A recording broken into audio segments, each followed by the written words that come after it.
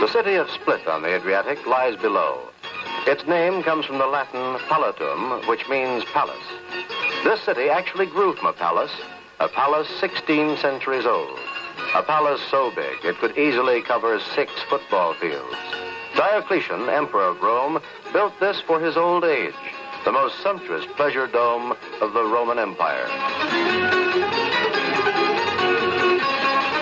The statue of Bishop Gregory stands before its walls.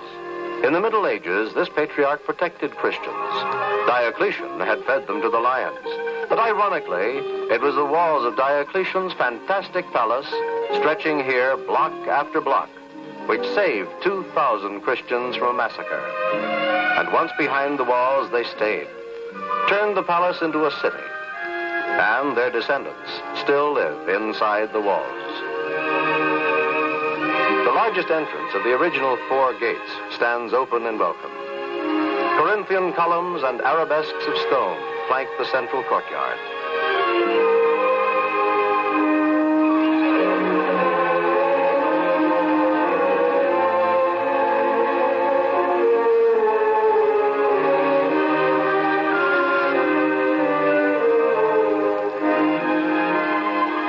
Children play on walls and floors constructed in the year 295 AD. Long ago, the emperor's mausoleum became a cathedral. A restaurant's tables and chairs cover the marble flagstones of the imperial retreat.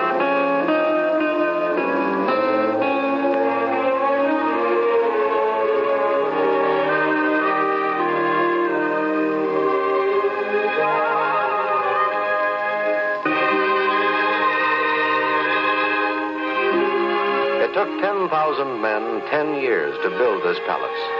Every corner of the Roman Empire contributed some decoration. Egypt, to please Imperial Rome, sent a black granite sphinx that still gazes at the world.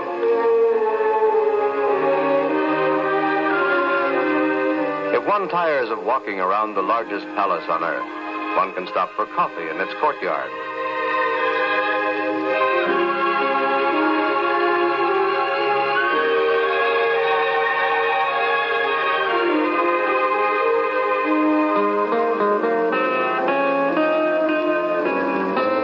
Ivan Mestrovic, Yugoslavia's greatest sculptor, learned to carve marble in Split. Many of his finest works grace a garden and gallery in the city today. Magnificent examples of a master's genius. Mestrovic taught for many years at Syracuse University and at Notre Dame.